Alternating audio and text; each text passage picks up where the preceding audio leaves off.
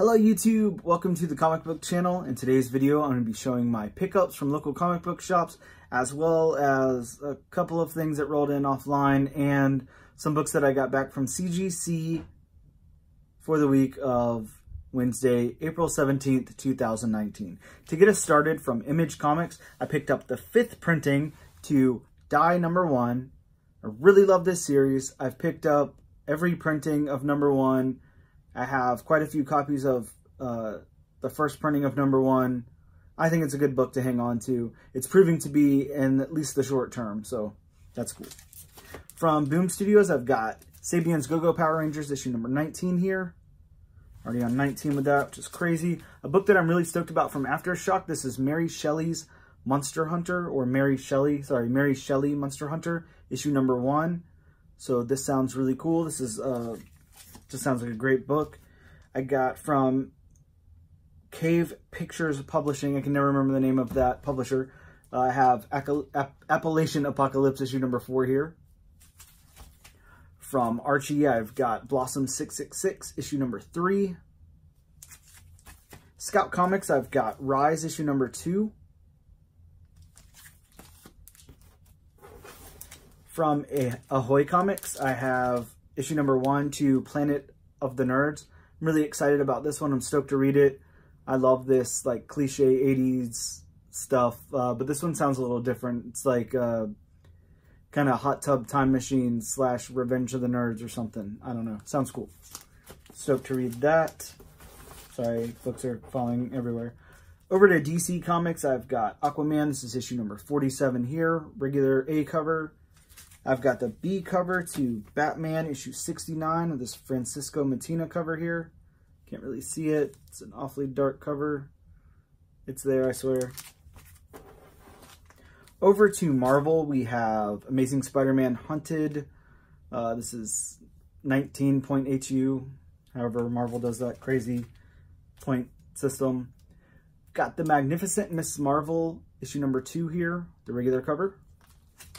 Got the regular cover here to Uncanny X-Men number 16. Sorry, having a really hard time trying to find a good angle here, so there we go. I've got Daredevil issue number 4. I've got Spider-Man Life Story number 2. This is the 70s. Regular cover on that. I, for some odd reason, have two issues of Major X number 2 here. So there's that. Got the last issue here to Avengers No Road Home. This is number 10. And those were all the new books I picked up this week. It's a very light week for me. Not uh, near as close to what I normally get, but, but that's what I got.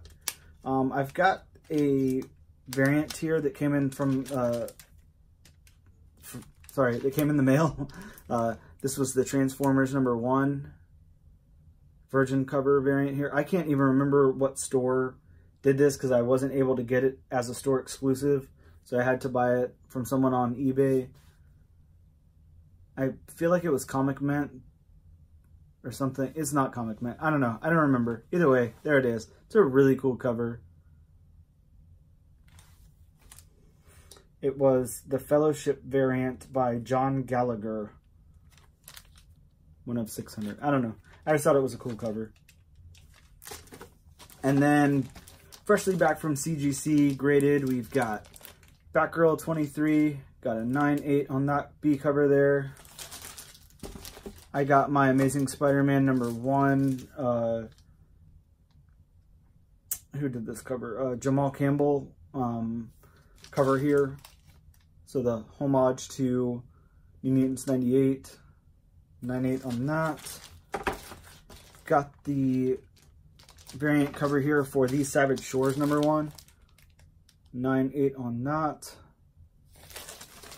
And then last but not least, I got my Patsy Walker, aka, AKA Hellcat 7, uh, and a 9.8 on that uh, variant cover as well. Sorry, I can't think today. Um, so, like I said, really light week, so I wanted to throw in some other stuff that came in just because I didn't really have many, very many books to show from the local shop. no, I wasn't able to get my Naomi 4. I didn't think about asking anybody to hold that one for me as I've been able to get all the rest of them at my local shop. Um, and that wasn't the case this week because the cat was out of the bag about it. Um, but whatever, I'll live. Uh, didn't pick up any Buffy, didn't get Angel Zero.